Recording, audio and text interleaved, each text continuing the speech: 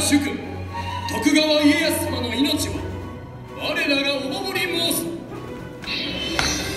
神君伊賀越1582年本能寺の変で織田信長が明智光秀に討たれ信長と同盟関係にあった徳川家康も次に命を狙われることになる家康人生最大の危機。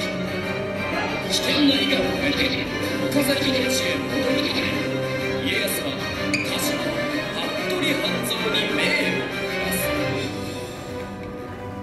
をわしは何としても生きて岡崎城に戻らねばならぬ我が民が待っている伊賀を越えるぞさあわしらを先導せよよいこの命にかけて家康様をお守りいたしまする。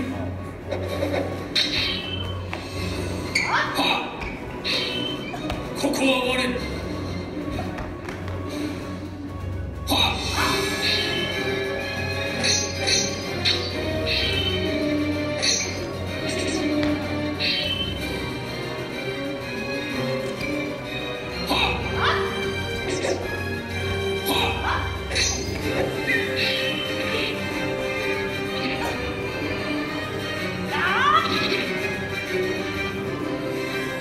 敵が次々と襲ってくる。道のりはまだまだ長い。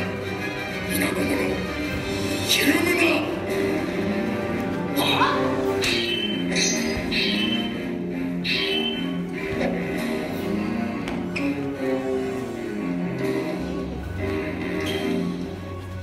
岡崎までもう少しじゃ。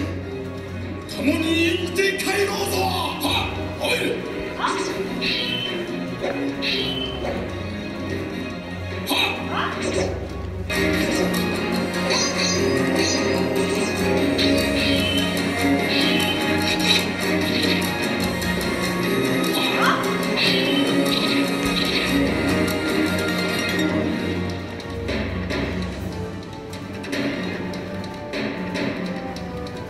ようやったおかげで無事岡崎城に戻ることができたぞ後ろをアルミーガ衆として取り立てようぞ平成の世によみがえったは服部半蔵忍者隊として存分に手柄を立てようはっ我ら服部半蔵忍者隊ここにするさはっ。